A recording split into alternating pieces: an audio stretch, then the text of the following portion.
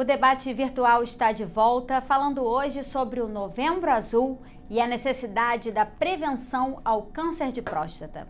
Doutor Sami, no bloco anterior a gente falava sobre essa prevenção, mas agora eu queria que a gente explicasse um pouquinho para os pacientes né, é, que vão ao urologista e têm a doença detectada, qual é o próximo passo? Qual é o tratamento indicado nesses casos? Bom, vamos lá.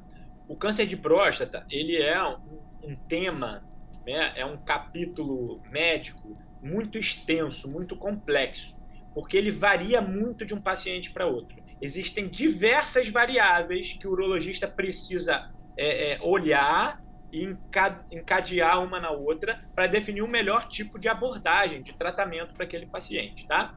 De uma forma geral, o grande objetivo nosso e da campanha, por exemplo, do Novembro Azul, como a gente já falou no bloco anterior, é diagnosticar o câncer precocemente, para buscar aquela chance de 90% de cura, tá? Isso significa que o tumor tem que estar tá inicial ainda. Ele não pode estar tá crescendo há muito tempo, tá? Esse tumor ele tem que estar tá restrito à próstata, ou seja, ele não pode ter dado metástase ainda. Aí a gente tem uma chance de cura.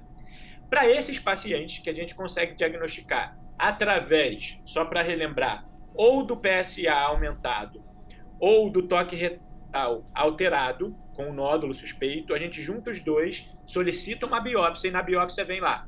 É mesmo câncer de próstata. Aí a gente vai tentar fazer o estadiamento, ou seja, procurar se não tem tumor espalhado para outro lugar. Se a gente não achar, então a gente vai dizer: olha, parece que é um tumor inicial. Aí, para esses pacientes, a gente propõe o tratamento radical, que é o tratamento com o objetivo da cura daquele paciente. Como é que é feito isso, Natália? A modalidade principal que a gente acaba optando é a cirurgia, tá? Que é a prostatectomia radical. Essa cirurgia, como o próprio nome diz, a gente tira toda a próstata, tá? É, tira toda a glândula, todo o órgão. E aí a nossa intenção é que, se a doença estiver só ali localizada na próstata, que esse paciente esteja curado. É claro que a gente não pode ser isso. Ele precisa fazer o acompanhamento por anos com o urologista. Ele vai sempre dosar o PSA para ver que realmente não tem aumento, procurar se tem alguma lesão que espalhou lá antes da gente conseguir ver para outro órgão que vai se manifestar só anos depois, né? e não existe a possibilidade, como no câncer de mama, de fazer a retirada de uma parte daquele órgão ou daquele tecido. É necessário fazer a retirada total do, da próstata. Exatamente, você muito bem colocou. Na mama, por exemplo, existem alguns tipos de tratamento quando ela está muito inicial, que a gente pode tirar só um pedaço, que a gente chama de quadrante, né? É uhum. a quadrantectomia, não tira a mama toda. Na próstata, não, a gente não faz isso, tá? A gente tira sempre a próstata inteira quando a gente está com interesse de curar o paciente, tá? Existem outras cirurgias da próstata que muita gente confunde isso. Como a gente falou no bloco anterior, a doença mais comum da próstata não é o câncer, é o HPB, a hiperplasia prostática benigna. A cirurgia para essa esse tipo de doença, ele, ele não precisa tirar a próstata inteira, não precisa fazer uma prostatectomia radical. Existem outras modalidades, que aí a gente pode fazer uma raspagem da próstata ou tirar uma parte dela por outras vias, é, mas não é a cirurgia do câncer, tá? É muito importante fazer essa diferenciação. É, e aí tem a outra modalidade, que é quando o, o, o paciente ou, ou ele não quer operar, fazer a cirurgia, ou ele não pode. É, por exemplo, um paciente que tem um risco cirúrgico muito aumentado, um risco cardiológico, né, algum problema no coração, que se ele passar por uma cirurgia, talvez ele tenha complicações graves, pode fazer a radioterapia também, que é uma outra modalidade na intenção de curar aquele paciente, tá? É muito importante conversar com seu urologista para ver se na cada caso é, qual é a melhor modalidade para você. Não tem uma, uma regra geral, não é receita de bolo, né? Isso a gente vê cada caso. Mas de uma forma geral, essas são as duas modalidades, tá? E no caso, como a gente estava falando também, da doença metastática, ou seja, quando ela já espalha para outro lugar, a gente perde aquela possibilidade de cura. Aí a gente vai entrar com outras modalidades de tratamento que podem ser modalidades únicas ou associadas, como o bloqueio hormonal, que é quando a gente faz a hormonioterapia, né? A gente sabe muito bem que o câncer de próstata ele se alimenta de hormônio, de testosterona. Então, quando a doença está metastática, a primeira coisa que a gente propõe para aquele paciente é bloquear a testosterona, é tirar toda a testosterona dele, né? Para que o tumor pare de crescer, para que ele fique, vamos dizer assim, faça um jejum no tumor, né? E aí é, é a hormonoterapia, tem outras coisas que a gente pode fazer também, radioterapia, quimioterapia, que são outras modalidades que a gente acaba associando. Mas aí é muito mais complexo, aí é muito de caso a caso que a gente seleciona qual é a melhor abordagem. Uhum. E aí, a partir da retirada da próstata, para esses pacientes que, que tiveram esse diagnóstico, a gente volta a ter a questão é, do tabu, é, da virilidade, dessas questões que são sensíveis para os homens também, né? O medo da impotência. Quais são, de fato, né, as consequências dessa cirurgia para a vida, para o dia a dia dos homens? É, isso é um tema muito importante, tá? A próstata, como eu falei, é uma glândula que fica logo abaixo da bexiga. E a uretra, que é o canal da urina, passa ali, ali no meio dela, né? E naquela região, exatamente, que é a região onde está começando o pênis, lá internamente, né? É, passam os nervos, eles praticamente abraçam assim, ó, por fora a próstata, eles vêm abraçando. E esses nervos é, do pênis é que controlam é, principalmente a micção, que é a capacidade que o homem tem de, de segurar a urina, né, de não, de não se urinar, vamos dizer assim, na calça, na cueca, é, quando a bexiga está cheia, ele abre o esfíncter, é, esvazia a bexiga, depois ele fecha de novo. Esses nervos acabam controlando o esfíncter e principalmente também a ereção, né? a capacidade da ereção do pênis para a relação sexual é, é, do, do, homem com a penetração peniana. Né? É, então, é, antigamente tinha um índice de, de lesão dos nervos, quando você vai tirar a próstata toda, dos nervos que estão passando ali juntos, é, de causar, em alguns casos, não em todos, mas em alguns casos, a disfunção erétil, que é o paciente perder a capacidade ou parcial ou total da ereção, é, e da, da, da, disfunção miccional, da capacidade do paciente segurar a urina. Né? A boa notícia é que isso tem avançado, as técnicas cirúrgicas, principalmente recentemente aí no advento da cirurgia robótica, né? E aí é, é, também muita gente não sabe, acha que é um robô que vai estar operando no lugar do cirurgião, não é nada disso, tá? A cirurgia robótica, ela é o cirurgião que está operando mas ele consegue entrar com uma câmera por dentro da barriga do paciente, olhar a próstata de frente, e aí os braços do robô, que é o cirurgião que está controlando ali do lado de fora, né, né, na interface, tem um detalhamento e uma visualização muito mais minuciosa, muito mais detalhista ali da próstata. Então isso facilita muito é, para a gente fazer uma dissecção preservando o nervo, tá? E aí essas, é, essas sequelas né, da disfunção miccional e erétil se tornam cada vez muito menores. Né? Mas é importante dizer também, para isso tem que ser um tumor inicial. Porque se for um tumor avançado, que já está crescendo e invade o nervo, aí não tem jeito. Nem que o cirurgião queira e consiga, ele tem que tirar tudo ali, uhum, porque... Para garantir, né? Exatamente. Então, é, olha só que, que interessante esse tabu. Como você falou, muitos homens ficam com medo falar assim: ah, eu não vou operar a próstata, não, porque eu conheço o meu vizinho, meu tio, não sei quem, ficou com disfunção erétil. Né? Num português bem claro aqui, para todo mundo entender, ficou broxa. Né? Uhum. E aí ele fala assim: eu não vou nem ver se eu tenho tumor, porque eu não quero passar por isso. E aí ele, infelizmente, se por acaso diagnosticar tardiamente, ele nem tem chance de fazer essa preservação daquela cirurgia inicial, né? Então, mais um motivo para a gente fortalecer o rastreio para tentar diagnosticar precocemente, porque melhora a chance de cura, acima de 90% de cura, e também, principalmente, dessas sequelas, que é a disfunção miccional e a disfunção erétil do paciente. Doutor Sam, e aí, é, até para as pessoas que hoje em dia tu, todo mundo vai para o doutor Google, né? E começa a pesquisar, enfim, e já existe uma orientação da Organização Mundial da Saúde, uma, o próprio Ministério da Saúde é, se manifestou recentemente nesse sentido. é, se posicionando de certa forma contra esse rastreio, né, com argumento de que ele não traria é, resultados efetivos para o tratamento da doença e essa detecção, e que em alguns casos isso poderia ser inclusive é, pior do que a doença em si, porque poderia é, levar um tratamento desnecessário, já que alguns tumores não evoluem como outros. Enfim, queria que o senhor fizesse uma avaliação, né? Porque isso para muitos homens, como a gente já disse aqui, que tem esse receio de procurar a prevenção, o tratamento e fazer esse acompanhamento da própria saúde, é, pode ser mais uma coisa, ah, que bom, não vou, né? É, esse é um tema muito polêmico mesmo, e foi muito legal você ter destacado ele para a gente poder é, é, ser mais enfático e trazer realmente a informação que nós da Sociedade Brasileira de Urologia, né, é, que é a, a, sociedade especialista no estudo e no tratamento e no acompanhamento desse tipo de doença da próstata, faz no mundo inteiro, tá? Não é só no Brasil, não.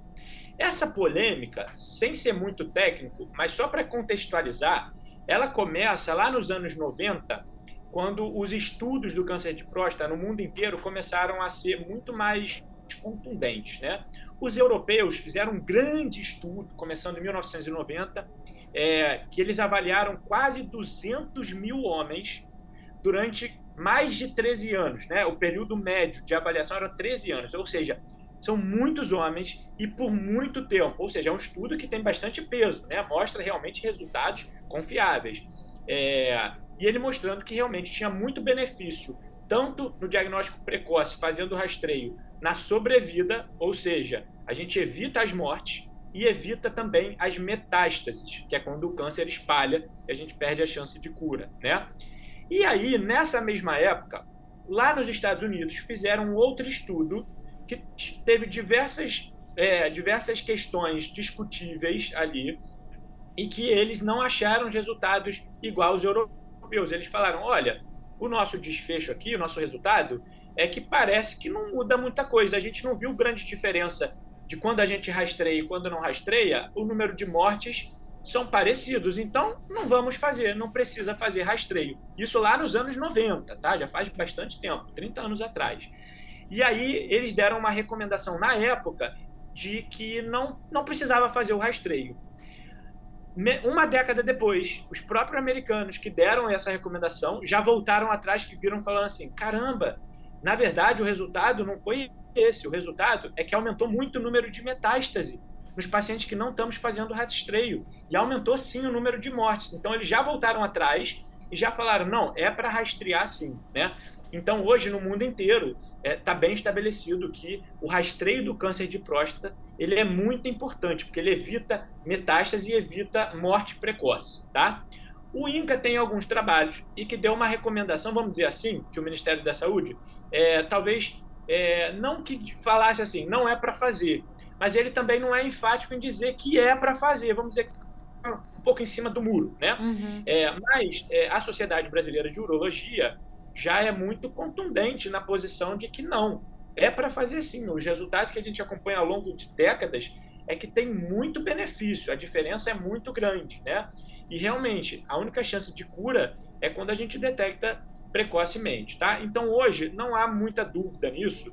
É, se for conversar com qualquer urologista, né, é, todos eles vão recomendar mesmo, porque a gente segue a recomendação da sociedade, que segue também a das outras sociedades no mundo inteiro, de fazer sim o rastreio do câncer de próstata. E essa, é, essa questão que alguns artigos colocam, é, tratando da existência de tumores que não evoluem. É, ainda assim, porque eu imagino que né, com essa recomendação de que se opere todo paciente diagnosticado com câncer, imagino eu que não exista como saber se esse tumor vai ou não evoluir, né? É, e isso é um tema legal também, né? É, Para a gente contextualizar também. quando eu falei lá, olha, o tratamento ele é muito individualizado, depende de cada caso, porque o câncer de próstata ele é muito complexo. Ele tem a apresentação de um paciente não necessariamente vai ser a mesma do outro, né? E uma da, da forma também, também de novo, é, sem querer ser muito técnico, mas só para explicar melhor, para que todo mundo entenda, é a classificação de Gleason. Gleason é, é o tipo histológico, ou seja, o tipo de agressividade do tumor. Isso significa que se eu pego todos os pacientes que têm câncer de próstata, que foram diagnosticados com a biópsia positiva, eu preciso ainda dizer se aquele tumor é um tipo mais agressivo ou menos agressivo.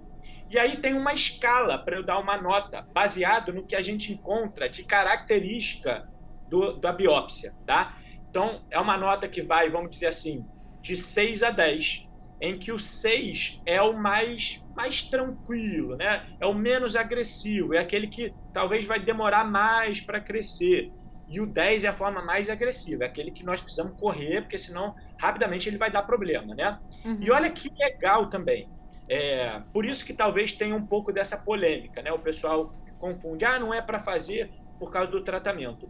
O Gleason 6, que é aquele, vamos dizer assim, o, o menos agressivo, e muitas vezes ele vai demorar tanto para evoluir, para começar a crescer, para dar metástase, para dar algum tipo de problema, ele pode demorar anos, que não necessariamente significa que naquele momento que o urologista diagnosticou que aquele paciente está com câncer de próstata, que é aquele do tipo 6, o Gleason 6, não necessariamente ele precisa operar naquele momento, tá? Existe uma modalidade que a gente chama de vigilância ativa, que também é muito segura, já consolidada no mundo inteiro, é, que a gente pode falar assim: olha, ao invés de eu te operar agora, vamos acompanhar, porque o, tudo indica que os, esse tipo, pro, no seu caso, esse tumor ele é um tumor mais indolente, que a gente chama, ele é menos agressivo. Então eu consigo te acompanhar aqui a cada três meses, a cada seis meses, a cada um ano. Aí isso é individualizado também. E a gente vai vendo lá através do PSA, através de uma nova biópsia que a gente faz, através do exame do toque retal e de outras características, se esse tumor está crescendo ou não. E às vezes demora até, Natália, uma década uhum. para ele começar a dar sinais que ele está crescendo. Então, nesse período, ele vai acompanhando, fazendo a vigilância ativa com o urologista e pode deixar para operar daqui a 10 anos só. Né? E aí, dependendo isso... até da idade do paciente, seja recomendado que nem opere de fato, né? Porque Exatamente. se ele descobre esse tumor, sei lá, com 80 anos, vai operar esse Perfeito. tumor para quê, né? Exatamente. É tanto que, como a gente já falou no bloco anterior, a gente começa a fazer o rastreio aos 50 anos para homens, ou aos 45, 5 anos antes, para negros, ou quem tem história de parente de, de primeiro grau, né, com câncer de próstata. E a gente não fica fazendo rastreio o resto da vida. Geralmente, quando o paciente tem uma expectativa de vida menor do que 10 anos, a gente nem faz mais. Né? Ou, de uma forma geral, a gente faz geralmente mais ou menos até os 75 anos. Depois, não precisa mais fazer, o paciente fica livre, porque foi como você falou. Porque se chegou aos 75, não descobriu o tumor, mesmo que ele venha a ter um tumor no ano seguinte, talvez aquele tumor vai demorar tanto para crescer que aquele paciente, por uma questão de expectativa de vida, vai acabar falecendo de outras causas. Uhum. E o uhum. câncer de próstata não vai nem precisar tratar, né, evitando um tratamento desnecessário. Tá aí a grande polêmica do pessoal falar assim: ah, não devemos fazer rastreio, porque na maior parte das vezes, quando a gente diagnostica, é esse Gleason 6 que a gente falou, é esse tipo mais indolente, menos agressivo. Uhum. E aí pode ser que a gente nem precise tratar naquele momento, né? Mas isso é uma discussão que o urologista vai ter individualizado dependendo do caso. A nossa ideia aqui é fazer o rastreio para todo mundo e mesmo nesses casos que não tenha que operar logo de cara, o urologista vai ter que fazer orientação, mas fazendo sempre a vigilância ativa, porque é a única forma que a gente tem de garantir que aquele tumor não vai crescer antes da gente poder tratá-lo e aquilo não vai dar problema para o paciente. É, e não fazendo um alarme é, desnecessário, mas o paciente que sabe que já existe uma coisa que ele precisa ficar atento, qualquer mudança né, no dia a dia dele, ou mesmo essa orientação de que de tempos em tempos ele tem que ir, já deixa ele mais alerta e cuidadoso com a própria saúde, né? Exatamente. A gente acaba recomendando que todo ano uma vez por ano, pelo menos, o paciente vá ao urologista, não só em novembro, né? Novembro é o mês para a gente ligar o alerta e conscientizar, mas a gente deve fazer isso ao ano todo para fazer o rastreio do câncer de próstata e para avaliar a saúde do homem de uma forma geral. As outras doenças da próstata, as outras doenças que o homem pode ter também, é um momento ali interessante para aproveitar e, e, e, o que o pessoal gosta de chamar aquele check-up, né? A uhum. gente pode fazer uma avaliação holística da saúde inteira do homem, né? É um momento muito interessante. Por isso que a importância de manter sempre o contato ativo ali com o urologista, pelo menos uma vez por ano, tá indo se consultar. Doutor Sami, antes da gente encerrar, um dos fatores de risco que eu não toquei aqui, segundo o INCA, é a exposição a agentes químicos, é, homens que trabalham né, com agentes químicos que uh, oferecem risco, insalubridade, enfim. É, quem são essas pessoas, né? Quem deve ficar mais atento por trabalhar com determinado ofício ou não? É, existe uma série de, de produtos químicos, né, ou, ou, produtos residuais de algum tipo de indústria, né? Então tem lá, por exemplo, a indústria de, de, de forro, de amianto, algumas indústrias que fazem produtos químicos ou farmacêuticos, ou produtos de limpeza, ou produtos de, de algum tipo de tratamento, né? Que podem ter um fator de risco associado, né? Mas é, isso são, são listas é, anexas, assim, que é importante para ver para cada caso. Se você acha que você se enquadra numa atividade ali que possa ter alguma ligação com algum, algum produto, alguma substância química, já procure antes também, cinco anos antes, o seu urologista, para que ele possa avaliar se, no seu caso, aquilo tem indicação de já se preocupar com o câncer de próstata recentemente. Mas geralmente essas são, são, são é, tipos de apresentação que não é só para o câncer de próstata, estão ligados a outras doenças também, né? Às vezes uhum. não só do câncer. Então é, é sempre bom fazer uma avaliação médica para que consiga, de forma individualizada, orientar quais são os cuidados necessários que a gente deva tomar com esses casos específicos. Doutor Sami, nosso programa infelizmente está acabando. Queria agradecer mais uma vez a sua participação. Muito obrigada, obrigada pelos esclarecimentos e volte sempre para a gente aproveitar e informar a população do nosso estado.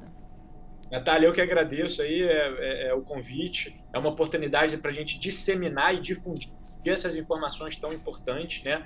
É, deixo aí como mensagem final um convite aos homens para participarem desse movimento, usarem azul no mês. Existe um movimento mundial, tá até muito interessante também, chamado Movember, né? que vem de mustache de novembro, no mundo inteiro, ou No Shave Novembro, de não se barbear em novembro, para deixar a barba crescer, o bigode crescer, usar azul, para que as pessoas parem na rua, perguntem, e aí é, é a deixa para a gente falar: olha, novembro é o mês de conscientização para o cuidado da saúde do homem. Então procure um médico. É, saúde é coisa do homem, sim, né? A gente pouca fala aí, infelizmente, na sociedade sobre saúde do homem.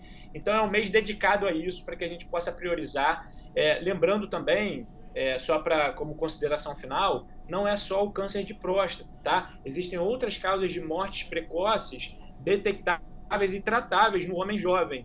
Câncer de testículo, que é uma doença de jovem, também precisamos é, rastrear isso problemas de saúde mental, depressões, suicídios, né? Então é uma oportunidade também, uma janela para a gente poder falar sobre isso e acolher, porque o homem ele, ele tem muita dificuldade de pedir ajuda quando ele precisa, né? Então a gente ficar atento a essas questões também, não só o câncer de próstata, que é o grande barato desse movimento todo do Novembro Azul. Então muito obrigado pela oportunidade, estou sempre à disposição, pode contar comigo também. A gente que agradece.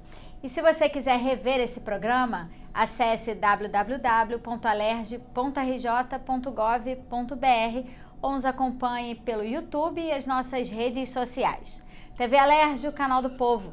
Até a próxima!